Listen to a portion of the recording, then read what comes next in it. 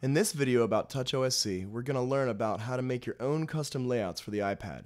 This is done in the TouchOSC editor, which you already have on your machine if you followed along with our second video. This program is where most of the action is going to take place. Like I said in the other video, it's free. First of all, when you open the program, be sure to change the layout size to iPad. Then select your orientation, horizontal or vertical. There are several different object types which can all be accessed via secondary clicking. The ones we're going to cover right now are faders, knobs, push buttons, and labels. Faders are virtual sliders that allow you to control the levels of things. I mostly use them for volume levels and send amounts. Other great uses for them are delay times, pitch control, and things like that. You can make them long or short depending on your needs. For example, a long fader is good for really exact control over something.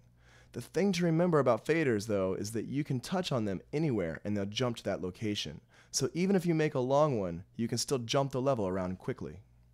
Knobs are just like faders, except that they're round. You can use them for all the same things when you need to save space on your layout. Push buttons are great for turning things on or off, or for making keyboard patches. They send a momentary signal that only lasts as long as you hold them down.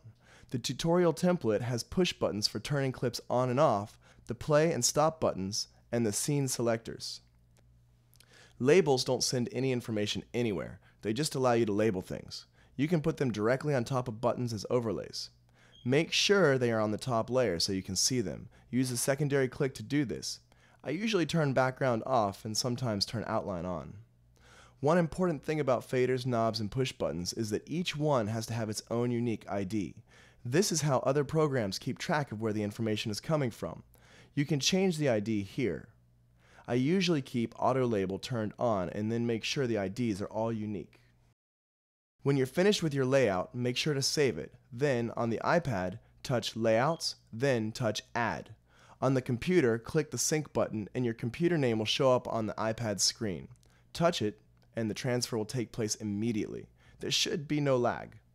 If you're transferring a layout that you've already made, a prompt will show up on the iPad asking if you want to overwrite the previous one. Select Yes. Now, navigate back to the main TouchOSC menu screen on the iPad and touch Done and view your layout. You can continue to make changes until the layout is perfect for you. The final step to all of this will be covered in the next tutorial, DubSpot TouchOSC Tutorial Osculator.